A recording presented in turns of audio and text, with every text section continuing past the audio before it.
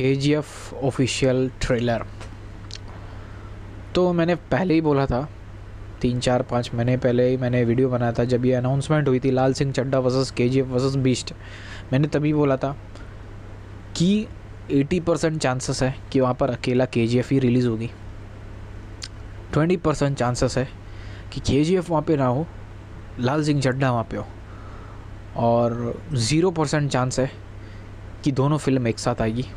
और या तो फिर तीनों फ़िल्में, क्योंकि बीस भी two thousand twenty two April का डेट उन्होंने बुक किया तो जहाँ तक मुझे ऐसा लग रहा है कि वो जो एक स्लॉट आता है जहाँ पर पूरा चार पाँच दिन का खाली वीकेंड मिल रहा है छुट्टी के साथ तो मुझे भी ऐसा लग रहा है कि बीस्ट का तो कलेक्शन सिर्फ़ एक एक स्टेट के अंदर से तो बीस तो यही चाहिए कि मैं तो मतलब मैं आऊँ या ना आऊँ, कोई फ़र्क नहीं पड़ता, मैं तो कमा कर चला जाऊँगा, डेढ़ सौ करोड़, दो सौ करोड़ कमा कर जाऊँगा, और वो होगा।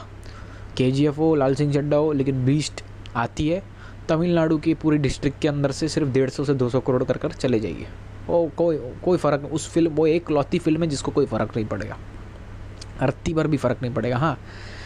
तीस से चालीस करोड़ का थोड़ा ऊपर नीचे हो सकता है।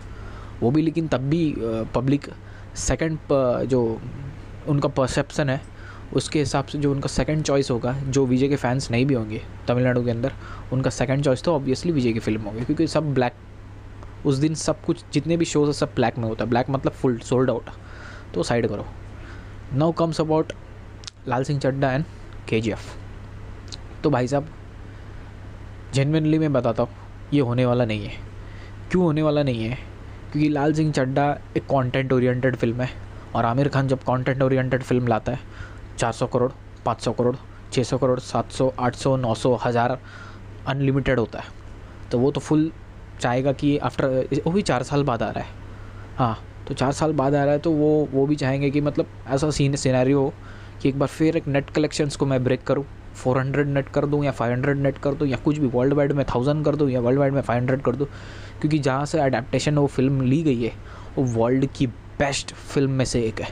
और वर्ल्ड की बेस्ट फ़िल्म का अडेप्टशन में इंडियन सिनेमा का one of the perfect superstars में से एक जब काम करेगा with having a you know उसका स्क्रिप्ट सेंस आउटस्टैंडिंग है। तो वो फ़िल्म चांसेस है कि रिकॉर्ड्स तोड़ दे।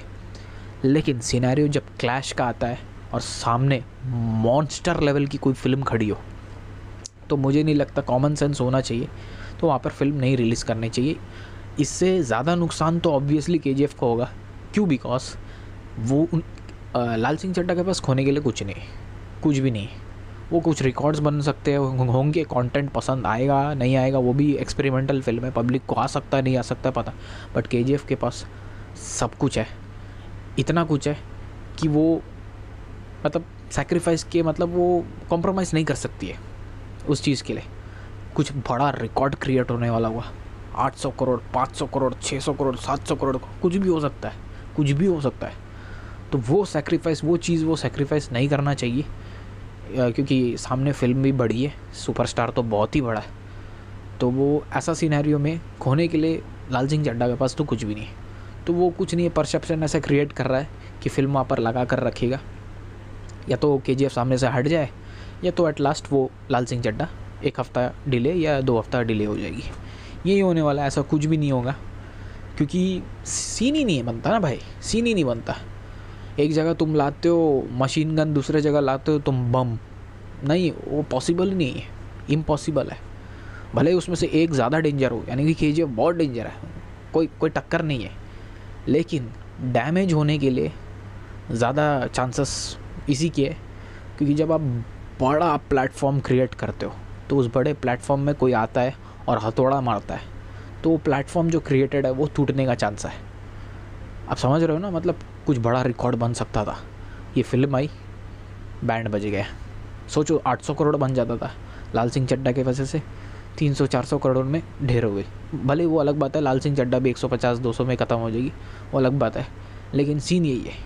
तो मुझे ऐसा लगता है कि क्लैश तो इम्पॉसिबल है। चांसेस ये एटी परसेंट लाल सिंह चड्डा वहाँ पर नहीं आएगी। क्योंकि ये सब हाइप बनाने के लिए भाई, ये सब हाइप क्रिएट करने के लिए हो सकता है। बीस परसेंट चांस ये है कि लाल सिंह चड्डा वहीं पर रहे के जी एफ़ वहाँ से चले जाए। यू नो एक काइंड ऑफ़ मतलब थोड़ा सा दिमाग यूज़ किया हुआ एक डिसीशन ब्रिलियंट डिसीज़न ये कि मेरे पास तो होने के लिए कुछ नहीं है जाने दो। बोल कर के जी एफ़ वहाँ से मतलब आ, हट सकती है लेकिन एटी परसेंट तो चांस यही है के जी एफ़ वहीं पर रहेगी लाल सिंह चड्डा का जाना कन्फर्म है।